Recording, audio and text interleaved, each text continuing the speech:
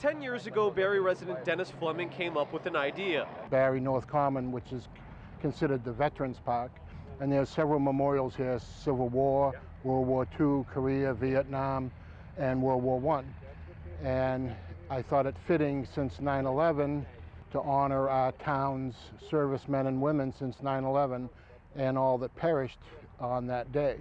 Since then, Fleming has been trying to acquire 9-11 artifacts for a memorial. Six months ago, he finally received word from the New York, New Jersey Port Authority he had been cleared to receive materials from Ground Zero.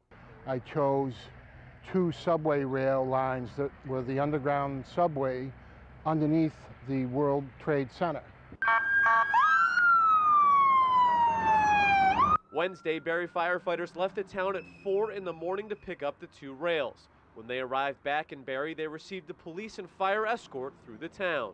Being firefighters in the town of Barre, uh, we have a close connection with you know, the, the 343 brothers that we lost down in, in New York.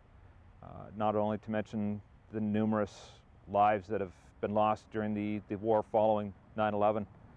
Uh, I think it, it brings a piece of that history back, uh, something that people can you know, actually visually see and, and remember as to what happened on that day.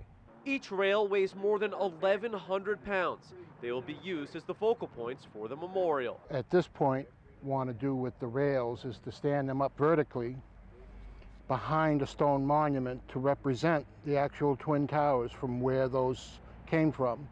And on the memorial, we'll list all the names of any Barre resident in service since 9-11. After 10 years of work, Fleming says he hopes that the memorial will be completed by next spring. My parents' day in infamy was Pearl Harbor. That's our generation of Pearl Harbor.